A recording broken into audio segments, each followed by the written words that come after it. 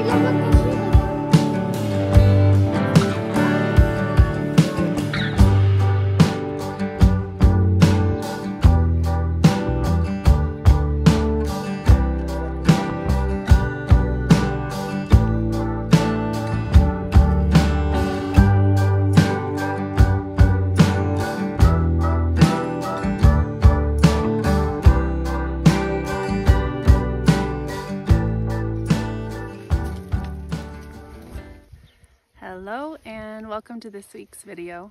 I hope you're all doing really well and thanks for watching. So the last three and a half weeks have been a little bit of a whirlwind for us. Um, they've been quite relentless to be honest. I think we're coming to the other side of it, knock on wood. Um, I've already recorded a video maybe a week ago saying that. So, um, but yeah, I do think that brighter days are on the horizon for us. We've also entered into a new cold spell here.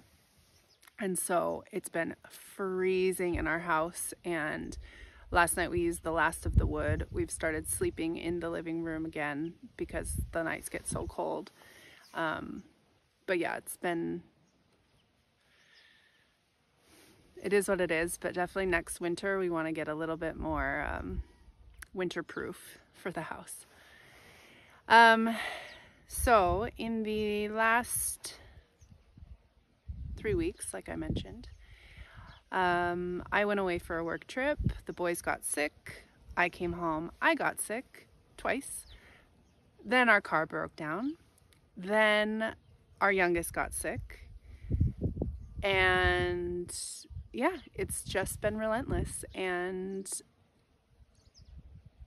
I mean, our life, like, I'm very grateful for it. And a lot of times I feel like, oh my gosh, how are we living such a dreamy life? But I mean, sometimes it can just feel like, what is happening? and that's how the last three weeks were. It's like when it rains, it pours no breaks, no time for us as parents to really recenter and ground. Um, yeah, it was a challenging, challenging time. So I'm glad to be getting on the other side, to have the motivation to film today, and hopefully get a video all edited up um, to get out there. So the theme of this video is water. Um, I was thinking that we would give you a little sense of the water sources that we have on our land, what we've done to secure more water and since we've been here and what we still hope to hope to do. Um, so John and I will talk a little bit about all of that and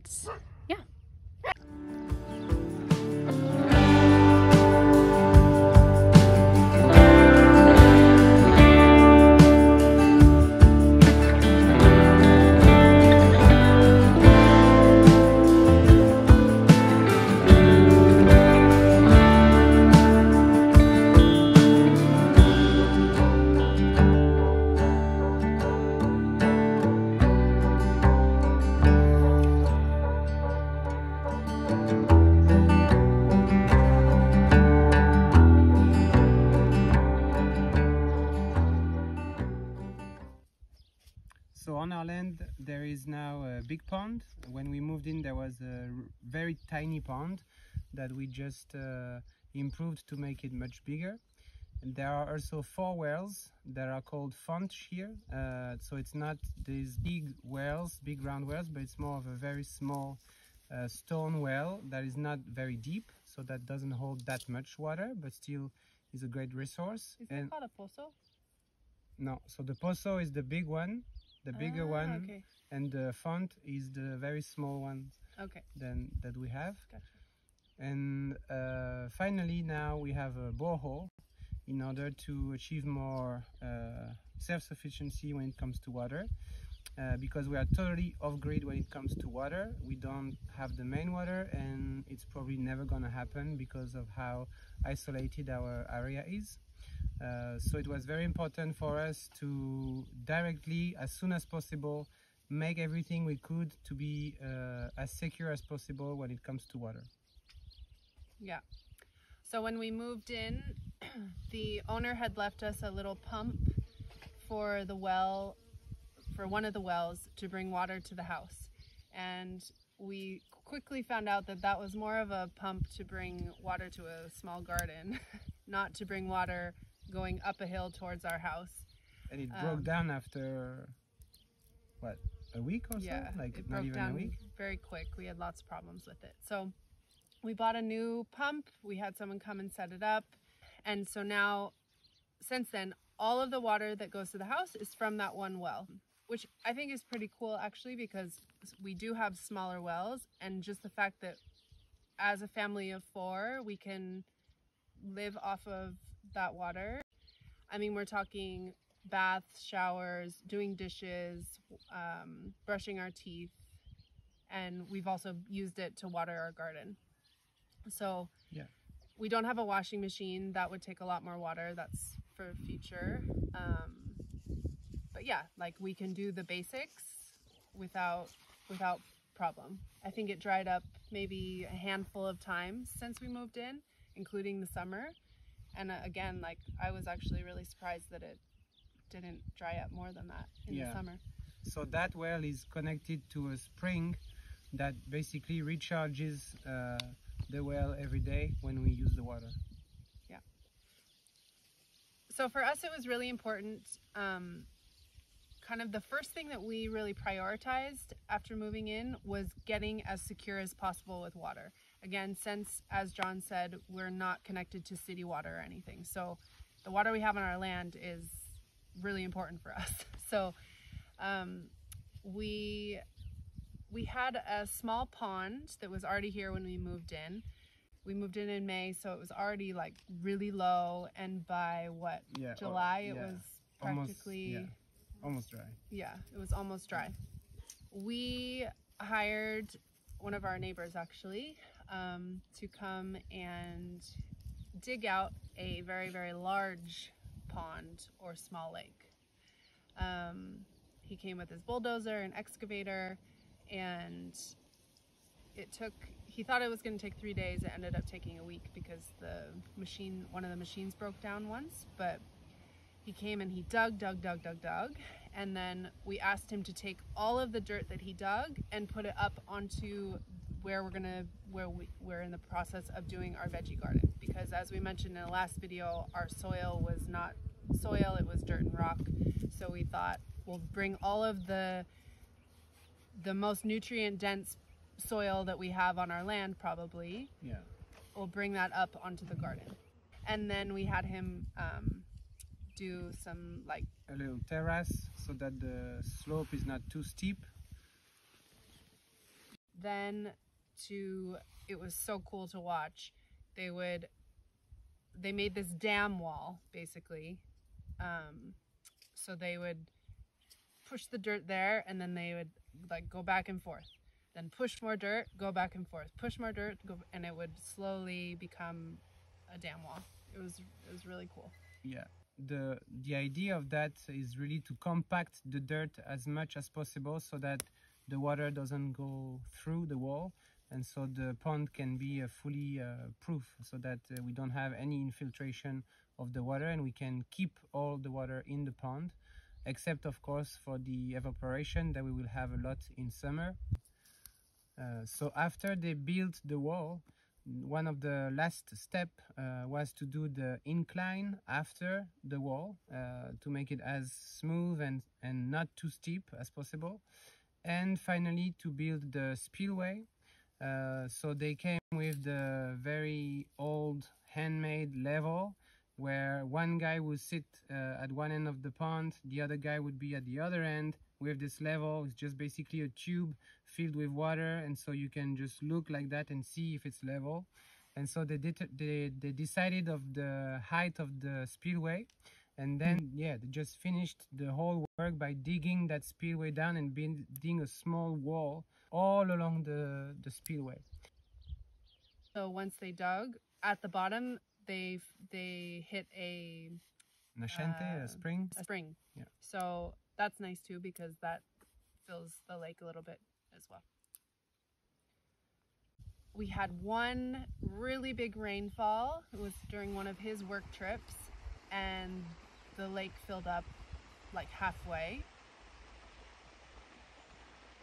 Then we had one other really huge rainfall and that filled the lake and more. We have a spillway coming from the lake and it just was flow like we got so much rain in just a couple days. So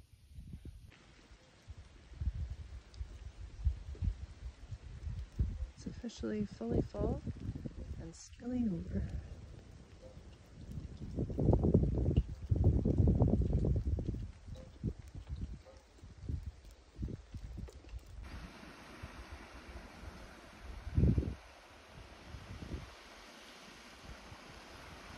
And one of the things that was very impressive to watch is when it rained, when we had these two big big rainfall. Uh, we saw how the force of the rain really destroyed basically that spillway, like eroded so much of it. Uh, it made like a canyon. yeah, it made like a small canyon with kind of a tiny little waterfall, and really dug almost like a meter of dirt. Now our lake is full, so we're going to be using that for irrigation. Um, during the summer, we can go down and get our bucket full of water. Um, it's also a great way to protect from fires to have a big body of water near our house. Um, and if we ever needed it to put out a fire, also moderates temperature. Mhm. But for wildlife, it's just, of course, amazing to have water. It's uh, it really it's a big part of the ecosystem here now. Already, we see the the impact it has on the birds, especially.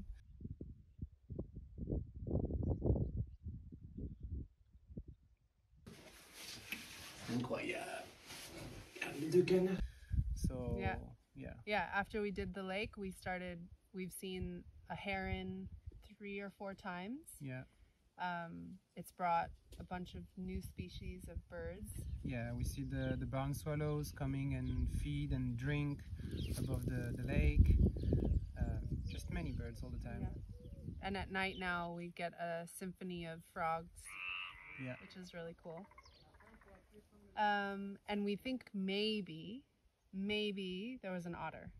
So it's either an otter or a fox or a genet from uh, the poop that we see on the rock by the lake. And several people tried to identify what it is. So so far, it can be either, oh, yeah, one Yeah, of one these of three animals. Yeah.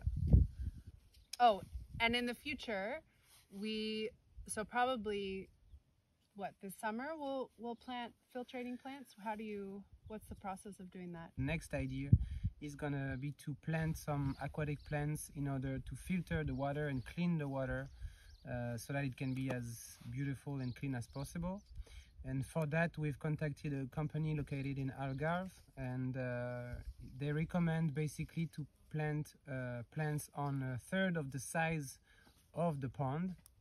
and we are not sure it's gonna be possible for us because a big part of the pond is just a rock slope uh, so there is not any dirt left on on this side so not sure we can plant anything or if we could bring more dirt to plant i don't know.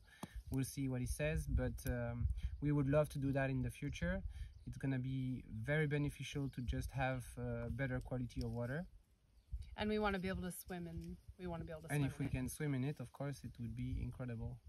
Uh, right now, after just a few months, we see the algae building every day. We see a difference, like it's really building a lot. The water is not too dirty, but it's definitely not fully clear at all.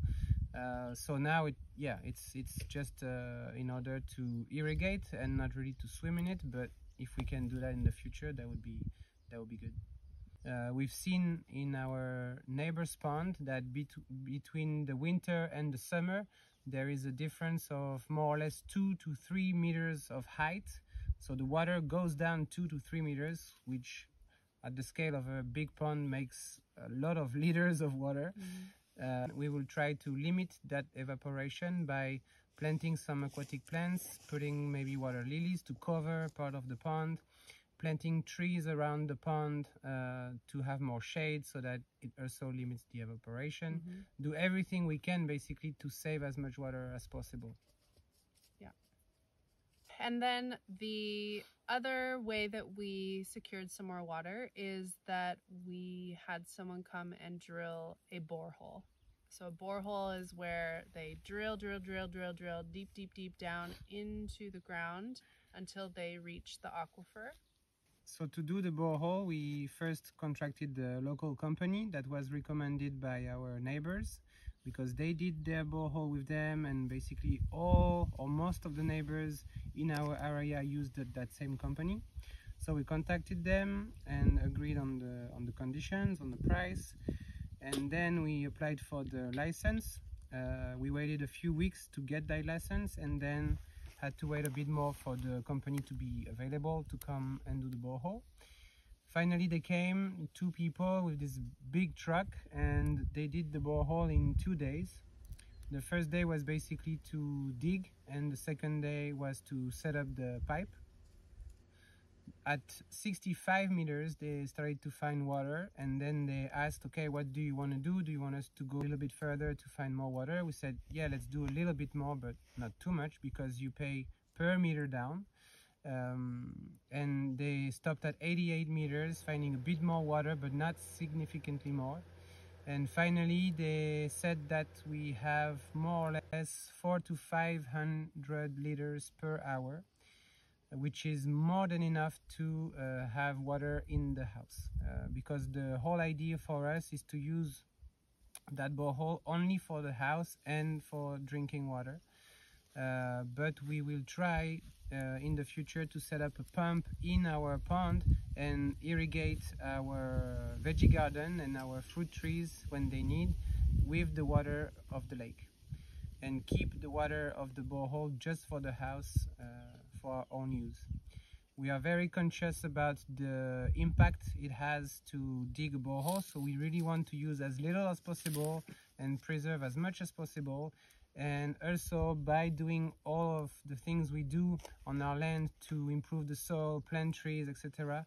We also think that it will help recharge the aquifer down below and uh, limit the runoff of water out of the land. We really want to uh, do everything we can to have the water soak into the land and go down, infiltrate, so that the water of the aquifer that's linked to the borehole is always there and we really preserve it. So there you have it. Those are the ways that we've secured water so far on our land since we moved in in May. We have lots of other ideas to implement down the road once we've saved up a little more money. We need to set up a pump and filtration system and piping from the borehole to the house. And we would also like to start collecting rainwater with gutters along the roof and other reservoirs to collect the rainwater hope to switch to composting toilets down the road as well.